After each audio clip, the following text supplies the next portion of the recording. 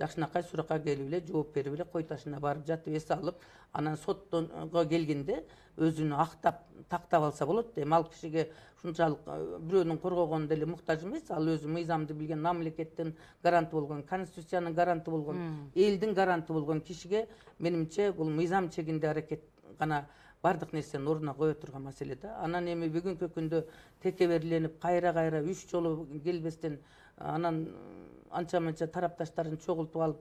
э, пиар жасап каала берсе концерт коюп э, күлкүлүү иш жасап аткандары бул туура эмес сен мамлекеттин ичинде мамлекет бул болуш керек да мамлекетте бийлик бар да бүгүнкү күндө жээнбеков сооронбай шарипович жетектеген бийлик жүргүзгөн президент башкарган кыргыз мамлекети бар анан кыргыз мамлекетинин ичинде ар бир экс президент деген макамды алган адамдар өзүнчө коргоонун ичинде мамлекет болуп бийлик жүргүзүп телевидениялардан